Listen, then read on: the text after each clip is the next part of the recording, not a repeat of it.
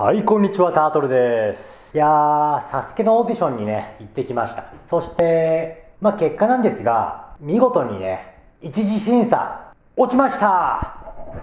悔しいっす。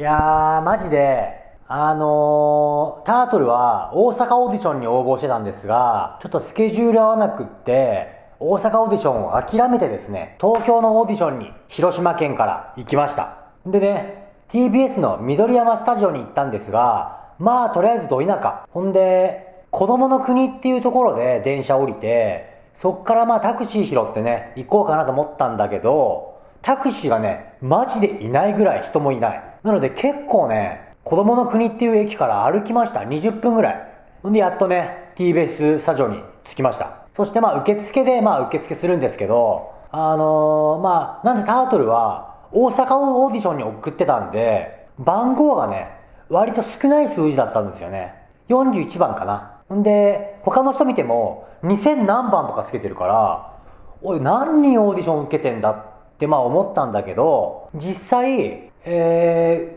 ー、E グループだったんだけど、タートルは。まあ大体各グループに、まあ25人ぐらいオーディションを受けていくんですが、そのオーディション、まあ E グループの25人いた中の1番でね、なんと、1番だったんで、1番に部屋に入っててですね、こんにちはって、まあ挨拶をしたんですが、まあ面接官4人ぐらいおって、ほんで、サスケのレギュラーの人がね、まあ2人ほど、まあいました。そして、まあオーディションの、まあ内容なんだけど、自己紹介ってメールには書いてあったんですけど、行ったら、自己アピールって書いてあって、あれちょっとこれ違うぞと思って、まあ自己紹介を考えてたんですが、自己アピールになってたから、やっべ何も考えてねえぞと思って、まあ30秒の自己アピール、まあ誰かのね、アピールを聞こうと思って、まあそれで考えようかなと思ってたんだけど、見事に1番だったから、まあ何もね、アピールできませんでした、正直。まあこれが一次審査に落ちた原因かなとは、まあ思うんだけど、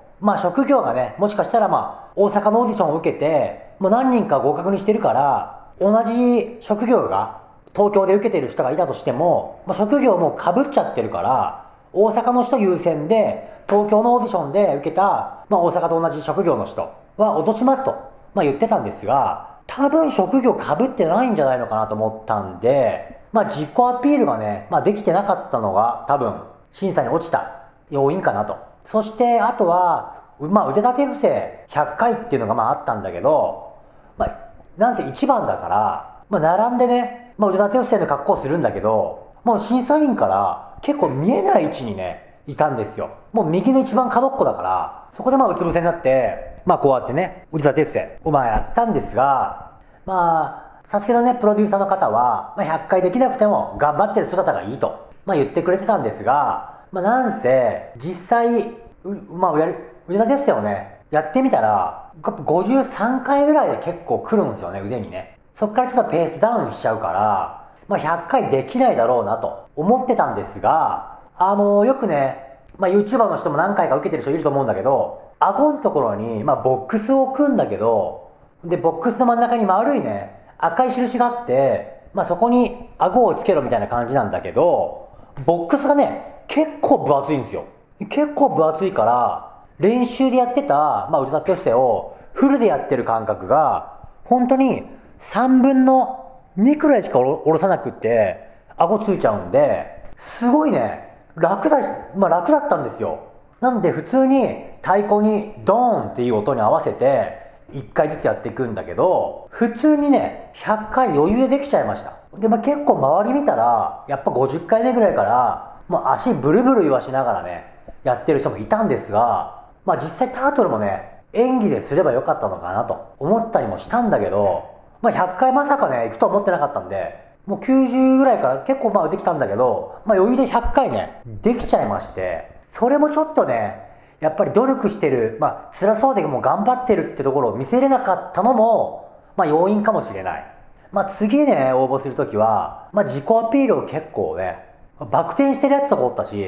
あとダンスしてるやつとかおったし、まあ結構ね、アピールできてたんですよ。まあ次はね、タートルも結構アピールしようと思うんだけど、でまあ腕立て伏せもね、きつそうにしようかなと思うんだけど、実はね、タートルの横におった2番目のやつがね、応募2回目とか言ってて、自己アピールがね、めっちゃうまかったんですよ。まあ、タートルはね、あ、広島から来ました。で、まあ、職業言って、頑張りますって言ったんだけど、アピールどころかね、まあ自己紹介やったよ、本当に。横におったやつは、まあ、昔暴走族してまして、鑑別書は経験してますみたいなことをね、まあ、言ってて、みんな笑ってたんだけど、もうなかなかね、アピールができてたんだよね。ほんで、もう根性だけはありますんで、とかって横のやつが言ってたんだけど、まあ、いざね、ウィザデュースが始まって、50回目ぐらいになったら、足ブルブルさしてて、お前全然根性ねえじゃんって思ったんだけど、受かってた。だからね、自己アピールは大事だなと、すごい思いました。まあ次は多分、11、12月ぐらいとかに応募あるのかな。まあもう一回ちょっと応募して、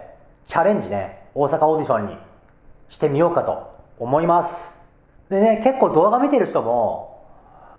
まあオーディション会場行ったら、ほんと中学生とかもおったし、いろんな職業がおったんで、まあ動画見てるね、視聴者さんも全然応募してみたら、書類審査通ると思います。それでね、もし会えたらすげえ嬉しいし、できればみんなちょっと応募してみましょうよ。サスケのオーディションに。で、声かけてもらえたらめっちゃ嬉しいし、ということで、まあ見事に残念でしたが、また改めてオーディションに参加しようと思います。